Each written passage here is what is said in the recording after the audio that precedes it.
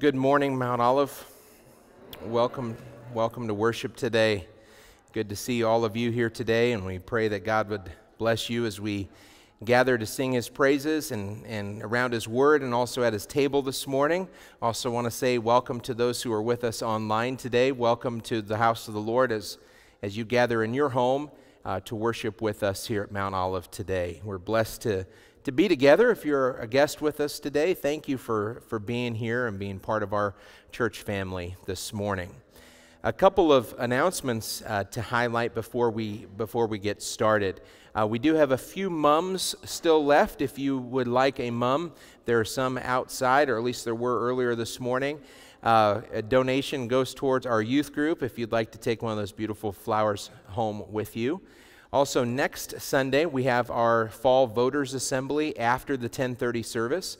And so, our Fall Voters Assembly, the main agenda item is to pass a budget for next year, for 2022. And so, we would invite you and encourage you to come and be part of the discussion and also the looking forward to what God is going to bless us with in the future here at Mount Olive as we gather as His people. Also, coming up later this month, is Trunk or Treat. And we have a couple special guests here to, to highlight that for us this morning.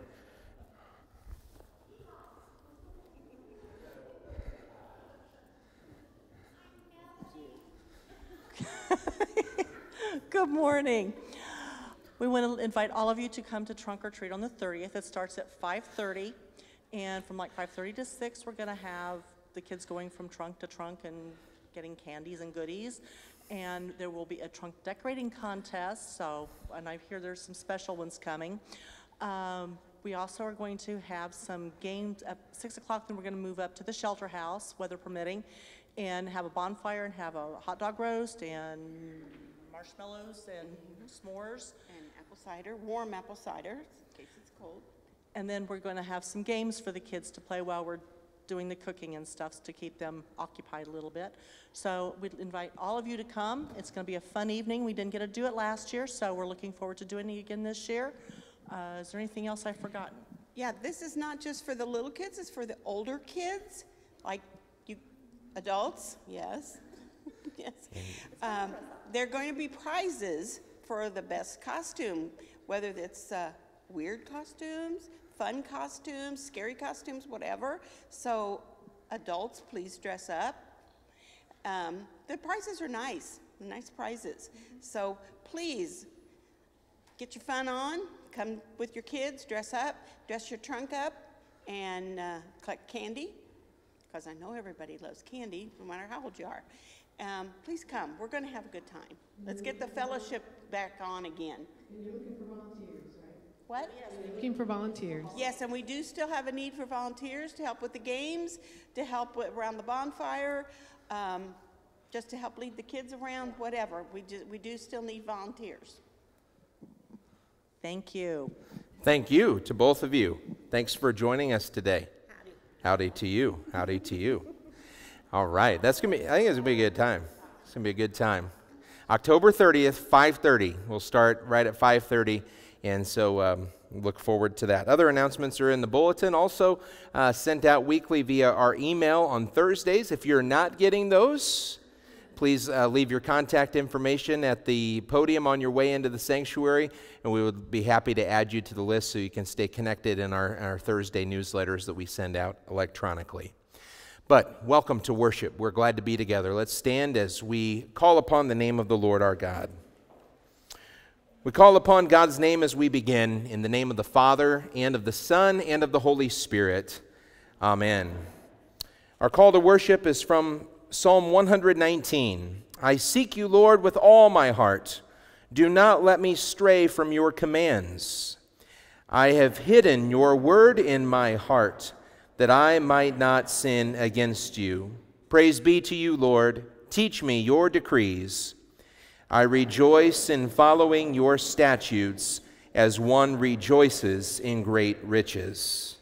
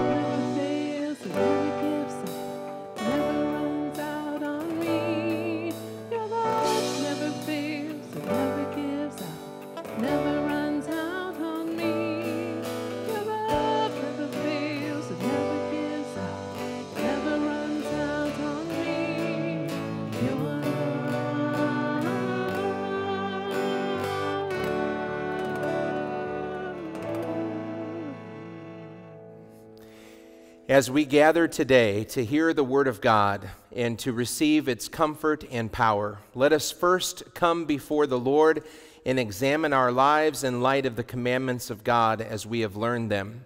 Hebrews chapter 4 says that the Word of God is living and active, sharper than any double edged sword. It penetrates even to dividing soul and spirit, joints and marrow. It judges the thoughts and the attitudes of the heart. We first come before the Lord now in a time for silence and for prayer and reflection upon the Word of God.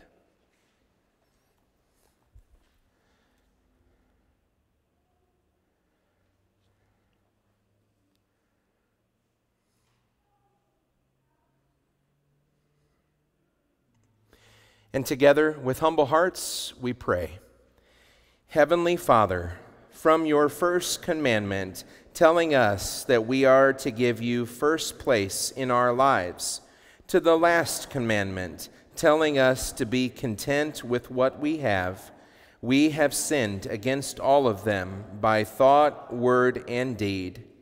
But we know from your holy word that you are a God of mercy and forgiveness. And so we ask for your forgiveness in the name of our Savior, Jesus Christ who paid the penalty for our sin by his precious blood. God has told you and me in his living and active word if we confess our sins, God, who is faithful and just, will forgive our sins and cleanse us from all unrighteousness.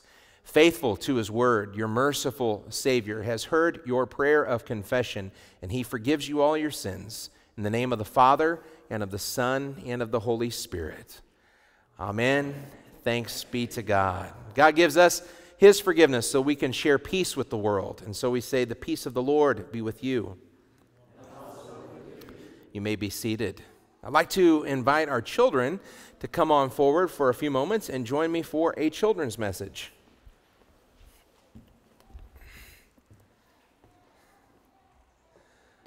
Good morning, guys. Hi, Gabe. Good morning. All right, we got more coming. All right. Welcome. Welcome. We have the young men's group up here this morning. All right. Good morning, boys and girls. Morning, Pastor. All right. Good to see all of you today. Good to see all of you today. I welcome you for a children's message and encourage you, if you'd like, to go to Children's Church here in just a, a few moments. But I want to talk about the number three. So, can you hold up three fingers on one of your hands? Can you hold up three fingers? Can you do that? One, two, you did. You got it perfect, don't you? That's right. So if you hold up three fingers like this, yeah, there you go. If you hold three fingers, what letter in the English alphabet does that look like? It's the number three. W. It does. It does. It looks like W. It looks like, that's right. It looks like the letter W. And so the letter W reminds us of two important things the Word and worship. The Word and worship. Well, God gives us the Ten Commandments in the Bible, 10 important things that He wants us to follow in our daily lives. And the third commandment, can you hold the number three up again? The third commandment says, Remember the Sabbath day by keeping it holy. That's right. And so God wants us to remember that we are called as His people to gather together for the Word of God and to worship God. So, did you notice that that's what we're here today to do? To worship God and to receive the Word of God. You see, Jesus came to life after he had died and rose again. He came to life after he died upon the cross to take our sins away. And do you know what day of the week Jesus came back to life on? What day was it? He died on a Friday and he came back to life on a, do you know? You know, Easter Sunday, on a Sunday. And so that's why we worship together on Sundays because Jesus came back to life again on a Sunday. And so Sundays become very important for us. Remember, the third commandment says, Remember the Sabbath day by keeping it holy. How do we remember? The Word of God and to worship God. And so we ask that God would bless our worship and bless us as we receive His word this morning in the Bible. What do you say, boys and girls and everyone? We go ahead and fold our hands and bow our heads and let's close our eyes and focus upon Jesus. And we invite the whole church to pray. Please repeat after me Dear Heavenly Father, Dear Heavenly Father, help me to obey your commands. Help me to obey your commands, to love and trust in you, to love and trust in you, and do all your word says. And do all your word says. Help me to honor your word. Help me to honor your word. Help me to worship you. Help me to worship you as we gather together today. As we gather together today. In Jesus' name we pray. In Jesus' name we pray. Amen. Amen. Thank you, friends. Pastor Bruce is over there. For those who are headed to Children's Church this morning, we welcome you. We've got a good young men's club here today, that's for sure. We like to hang out. All right, a word about our offerings. A word about our offerings. Thank you for those who continue to give offerings to support the ministry of our congregation. We do have a giving box that's just outside the sanctuary that you can uh, use to place any uh, gifts that you have brought this morning. We also have a Give Plus app. If you have been giving electronically, there's no need to change any apps at this time. We've had some confusion about that. We're staying with where we are for now, but hopefully in the new year, we will have a new and easy to use platform where we can give electronically as well. So, more on that. So, the simple word is whatever's working for you now, please keep it up. And we thank that we thank God for blessing both the givers and the gifts that are received for the glory of his name. Let's turn our attention now to our, our scripture lesson from Hebrews chapter 4.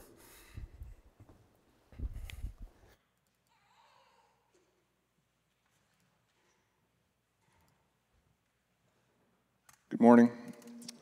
Our New Testament reading is from Hebrews chapter 4, verses 1 through 13. Therefore, since the promise of entering his rest still stands, let us be careful that none of you be found to have fallen short of it. For we also have had the good news proclaimed to us, just as they did. But the message they heard was of no value to them, because they did not share the faith of those who obeyed. Now we who have believed enter that rest, just as God has said. So I declared on oath in my anger, They shall never enter my rest. And yet his works have been finished since the creation of the world. For somewhere he has spoken about the seventh day in these words On the seventh day, God rested from all his works. And again, in the passage above, he says, They shall never enter my rest. Therefore, since it still remains for some to enter that rest, and since those who formerly had the good news proclaimed to them did not go in because of their disobedience, God again set a certain day, calling it today. This he did when a long time later he spoke through David, as in the passage already quoted Today, if you hear his voice, do not harden your hearts. For if Joshua had given them rest, God would not have spoken later about another day. There remains then a Sabbath rest for the people of God. For anyone who enters God's rest also rests from their works, just as God did from his. Let us therefore make every effort to enter that rest, so that no one will perish by following their example of disobedience. For the word of God is alive and active, sharper than any double edged sword. It penetrates even to dividing soul and spirit, joints and marrow. It judges the thoughts and attitudes of the heart. Nothing in all creation is hidden from God's sight. Everything is uncovered and laid bare before the eyes of Him to whom we must give account. This is the word of the Lord. Música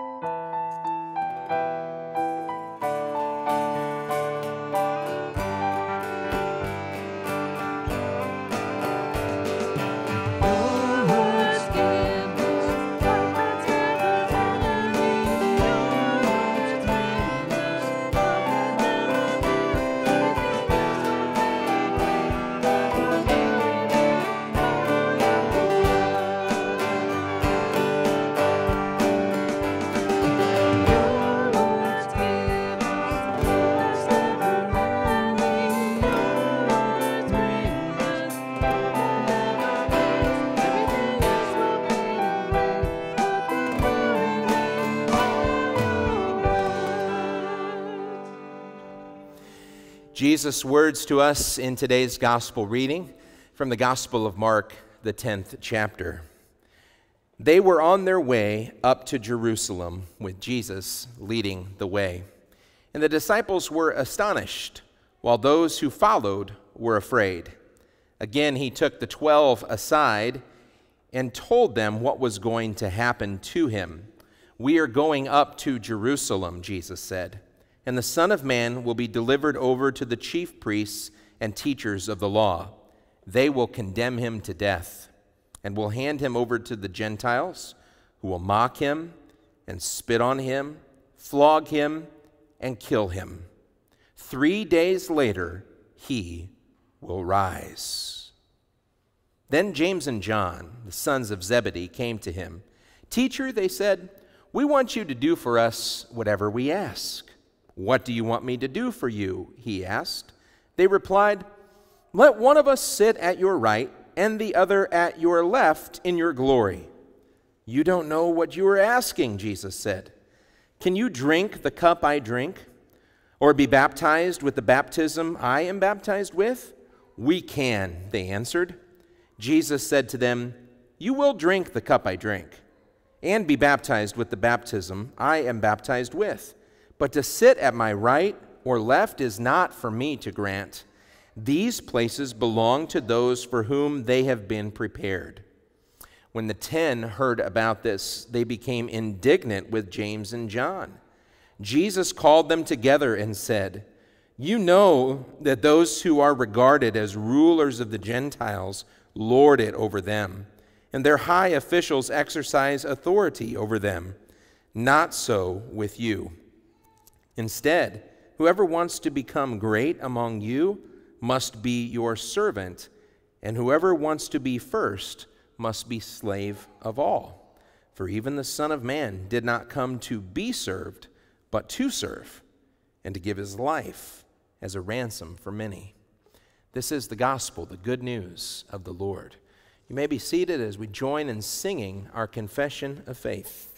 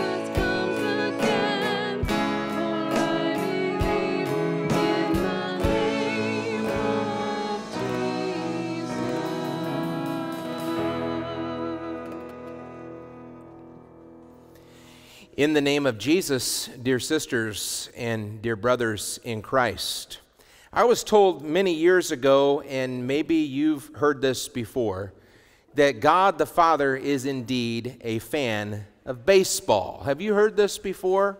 That God is a baseball fan. Because you know what it says, don't you? In the very first sentence of the Bible, in the beginning, God created the heavens and the earth.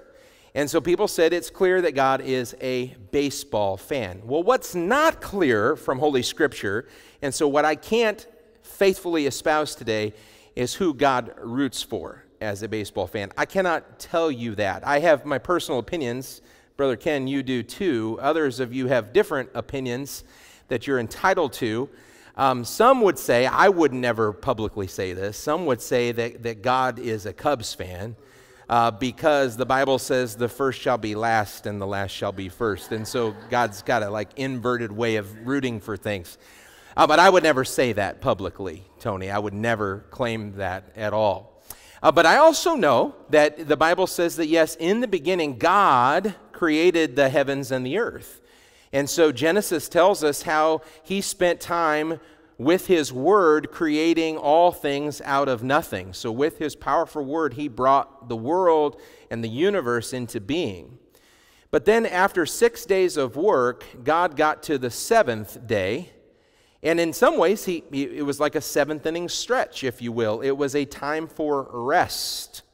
And God Sabbathed. He stopped what he was doing on the seventh day, and he made the seventh day special and holy as a day of Sabbath rest. Now, we're going to talk about that today. Uh, we're actually in confirmation class going to talk about it some tonight. And so, some who are here today are getting a little preview of what we'll discuss in confirmation class tonight. But as I was preparing for confirmation and also looking at the reading from Hebrews chapter 4 that was scheduled for us for today, realize they're speaking of the same thing. The idea of us entering into God's Sabbath with Him and seeing Sabbath as a gift of God. Hebrews chapter 4 says, There then remains a Sabbath rest. The word Sabbath means stop or rest, a Sabbath rest for the people of God. For anyone who enters God's rest also rests from their works, just as God did from his. Let us, therefore, make every effort to enter that rest, so that no one will perish by following their example of disobedience. For the Word of God is alive and active, sharper than any double edged sword. It penetrates even to dividing soul and spirit, joints and marrow. The Word of God judges the thoughts and the attitudes of the heart. And so, as we come under the authority of the Word of God today, what does it mean to enter into the Sabbath rest with Jesus? Well, we start with the third commandment. The third commandment out of the ten that God gives to us in Exodus chapter 20, and then God repeats himself in Deuteronomy chapter 5. The third commandment simply says, Remember the Sabbath day by keeping it holy. And so God Sabbath. And what does that mean for us? Well, in 1529, and ever since for Lutheran Christians, we've been answering it this way with Luther's explanation of the third commandment. We should fear and love God. That is, we should put God first so that we do not despise preaching and His word, but, but we would hold it sacred and gladly hear and learn it as I shared with the kids in the children's message this morning, a way to remember the third commandment. As explained, it's not so much about a day as it is about the purpose of the Sabbath. That is a time for God's Word, a time to rest from work, and a time to worship the Lord our God. And so, what is the Sabbath day? As we have some questions and answers here this morning. Well, in the Old Testament, God set aside the seventh day as a day required for rest and for worship. And so Saturday was the day in which God took his seventh inning stretch, if you will. And so for Old Testament believers, they followed the Sabbath religiously. They set up rules and regulations to guard and protect that particular day so that they actually would be restricted in how far they could travel from home, only far enough to get to a place to worship and get back. But they wouldn't go about their regular routines of life and of work. It was literally a day to stop. For the word Sabbath actually does mean stop. If you go to the Holy Land today, you will be able to recognize stop signs. They look like stop signs do in our country. And yet, without the English letters, they have the Hebrew letters that say Sabbath on them. That is to stop. And so, to stop, to pause, to take time for rest, to recharge, and to be rejuvenated, to enter into the rest with God and, and to give Him praise and worship and honor and glory for the works that He has done in our lives. And so then we fast forward from God establishing the Sabbath day to us as believers in Jesus who are living right now. And so, does God require us to observe the Sabbath and other holy days of the Old Testament. So here's what the Catechism points out for us that the Sabbath was a sign. So I think of that stop sign. And it's like a stop sign, but it's a sign that also has an arrow on it. And the Sabbath's arrow is pointing us to Jesus, who is our ultimate rest. As Matthew chapter 11 says, Jesus says, Come to me, all you who are weary and heavy laden, and I will give you rest. And so Jesus gives rest for our souls, and knowing that our sin that, that separates us from God has been atoned for, it's been paid for by his blood shed upon the cross. And so, because Jesus has come as our Savior and our Lord, God no longer requires us to observe a particular Sabbath day or other holy days of the Old Testament, for there were many and various holy days in Old Testament times. Colossians chapter 2 kind of sums it up. It says that those days, those regulations, those times, those feasts, those festivals are a shadow of the things that were to come. The reality, however, is found in Christ, the New Testament says. And the word for reality in the biblical Greek is soma, soma. Soma is a word that means flesh, it means body, it means substance. And so soma is contrasted with the shadow. A shadow is not flesh, a shadow is not body, a shadow is not substance. But soma is flesh, is substance, it's body, it's reality. And that reality, it says, for us as believers in the Lord our God is found in Jesus. And so the purpose of the Sabbath commandment is not about a particular day, but it's about a particular person. A person who invites you and me to love and trust in him to give Him our lives, to recognize that He gave His life to pay for our lives. So in turn, we give our lives to give Him glory. And so it's to enter in to rest with Jesus Christ, to rest secure in His presence, to know that He is our Savior and our God, that, that He is with us, that He has paid the price for our sins, that He has guaranteed us life forever in the kingdom of, of heaven. And so, if we have this rest who is Jesus, who is also now our substance, our flesh, our body, our being, then what does God require of us? Does God require the church to worship together on any specific days? Well, God does require Christians to worship together. He requires Christians to worship together, although He has not specified a particular day. But the idea that Christians can be a lone ranger or an isolated island is simply foreign to the scriptures. There is no such thing as an isolated believer in Jesus.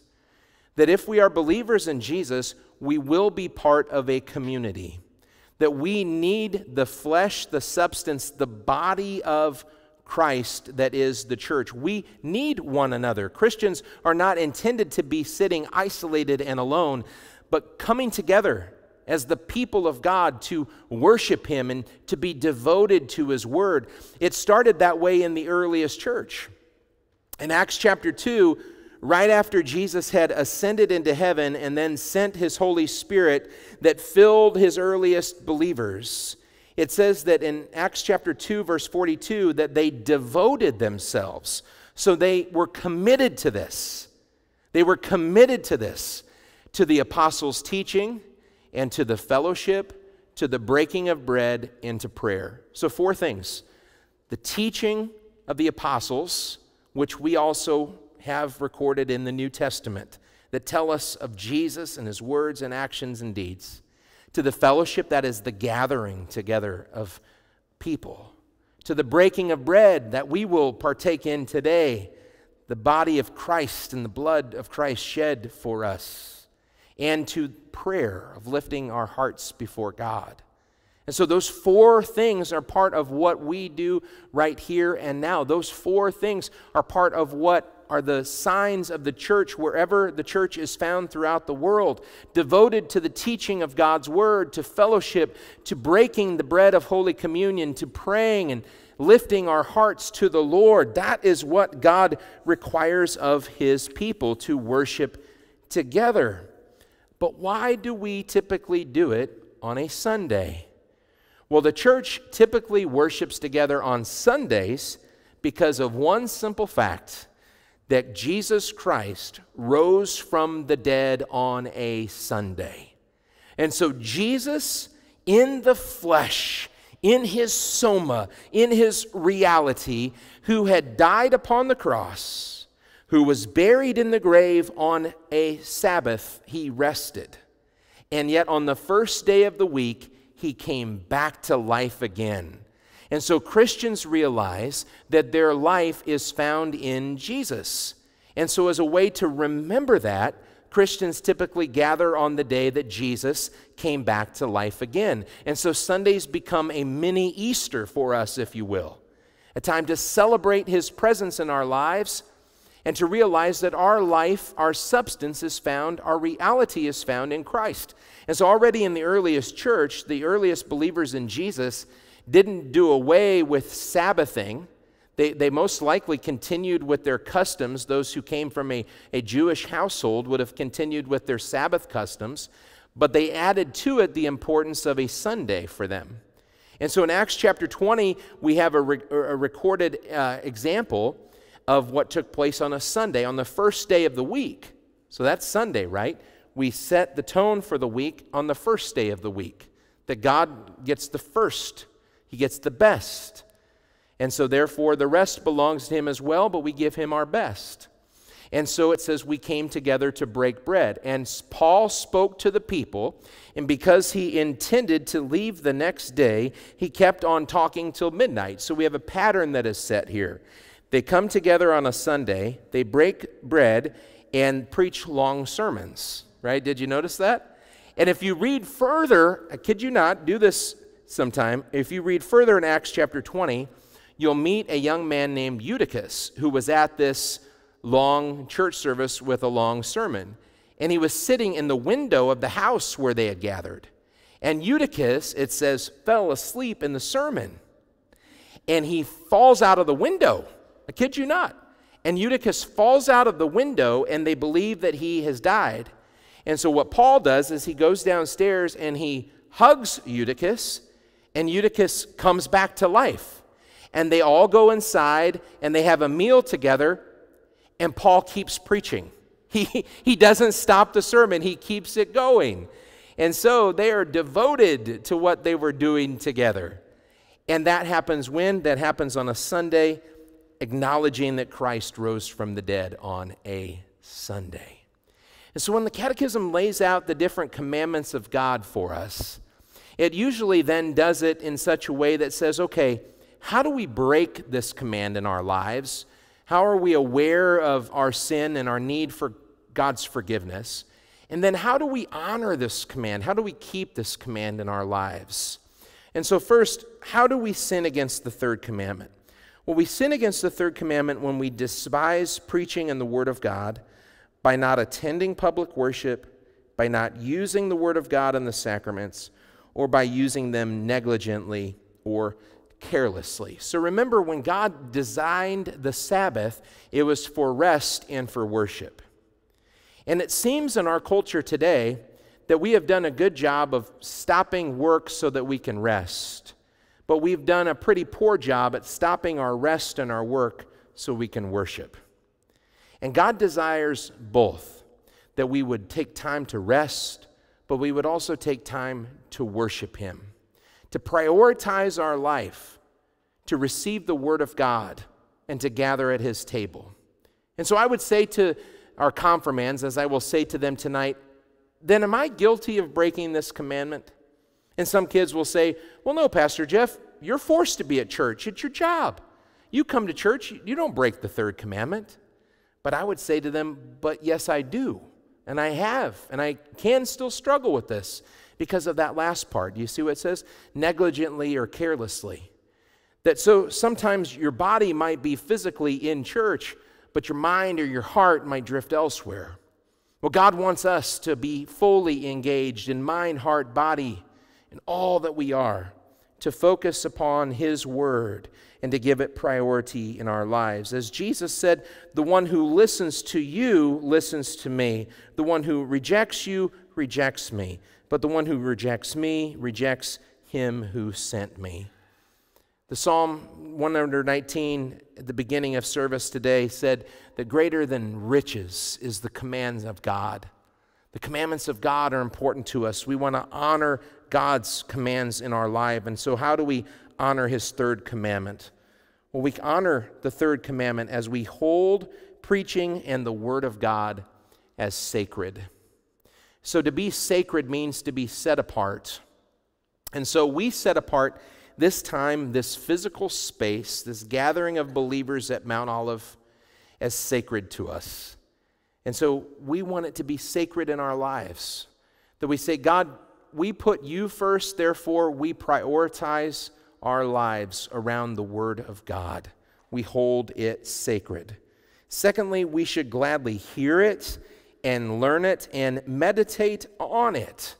The, the word for meditate in the Bible is not some kind of transcendental meditation term, but it actually is a term that has to do with digestion, and it means to chew over and over again.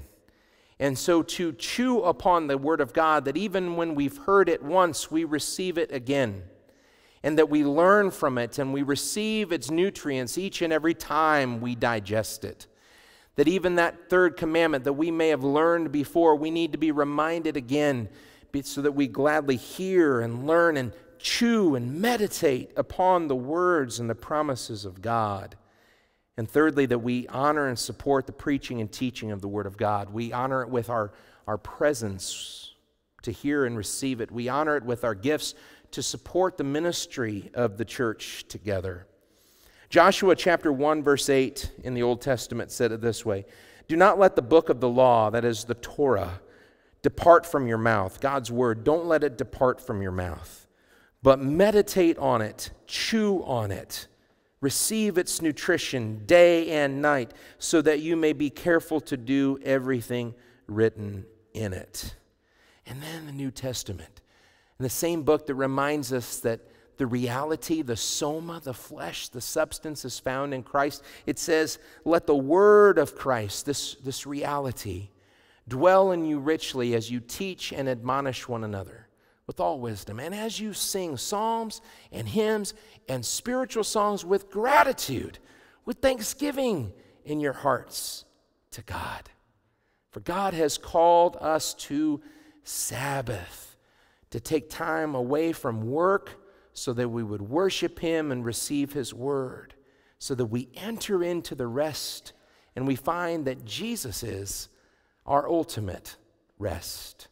May we receive him and may we honor and support and continue to teach his word each and every day in Jesus' name.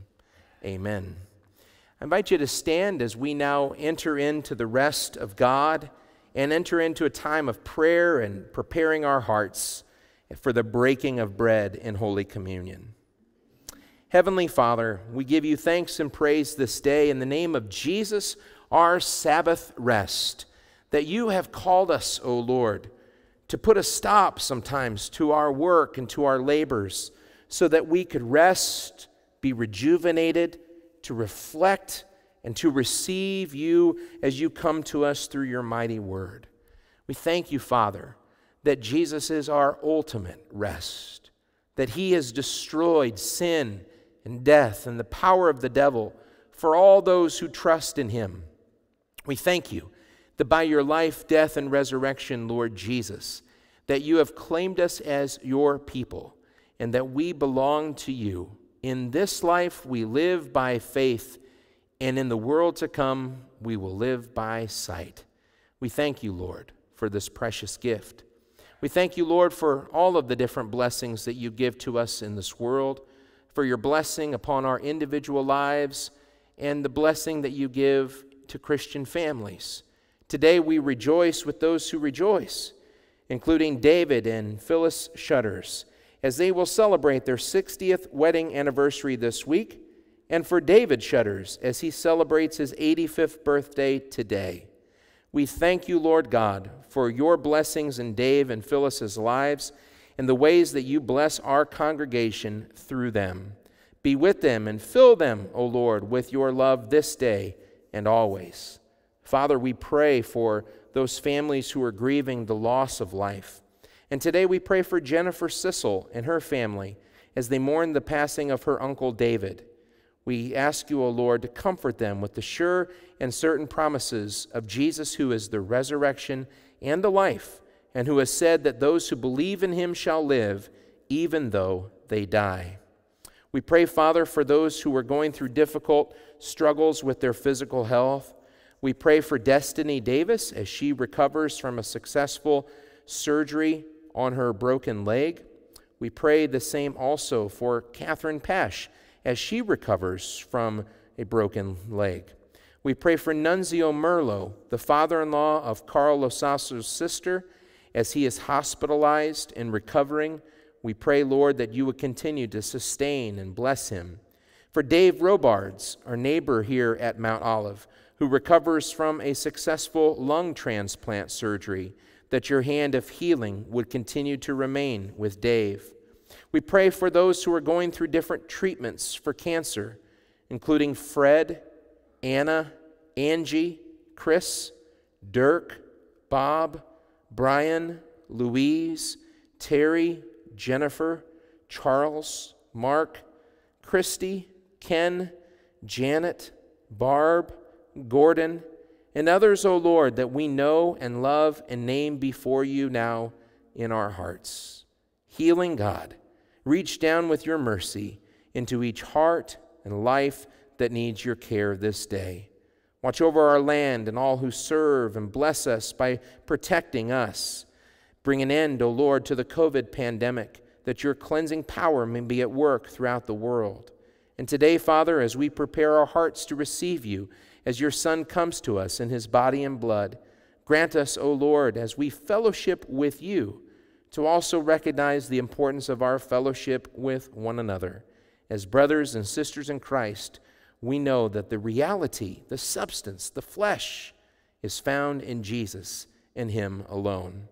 For into your hands, O Lord, we commend ourselves and those for whom we pray, trusting in your mercy through Jesus Christ our Lord, who also taught us to pray. Our Father, who art in heaven, hallowed be thy name. Thy kingdom come, thy will be done, on earth as it is in heaven. Give us this day our daily bread, and forgive us our trespasses as we forgive those who trespass against us. And lead us not into temptation, but deliver us from evil. For thine is the kingdom, and the power, and the glory, forever and ever. Amen. We now gather together in the name of our Savior Jesus at his command, and we remember his words, whereby he gives us this precious gift of Holy Communion. Our Lord Jesus Christ, on the night in which he was betrayed, he took bread, and when he had given thanks, he broke the bread, he gave it to his disciples, and he said to them, Take and eat. This is my body, which is given for you. This do in remembrance of me. In the same manner also, Jesus took the cup after supper. And when he had given thanks, he gave it to them, saying, Drink of it, all of you. This cup is the new covenant, the New Testament in my blood, shed for you for the forgiveness of sins. This do as often as you drink of it in remembrance of me. As often as we eat the bread and drink the cup, we proclaim Jesus until the day he comes again. And so may the peace of the Lord be with you always. You may be seated.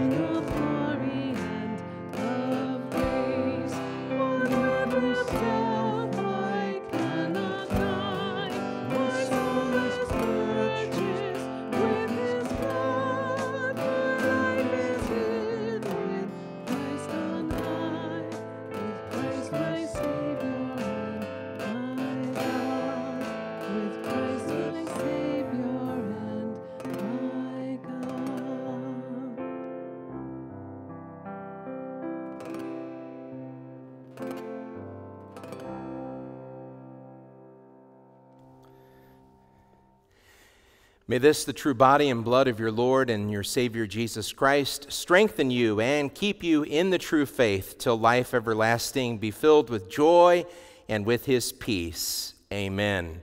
Please stand as we go forward with the benediction. The Lord bless you and keep you. The Lord make his face to shine on you and be gracious to you. The Lord look upon you with favor and give you peace. Amen.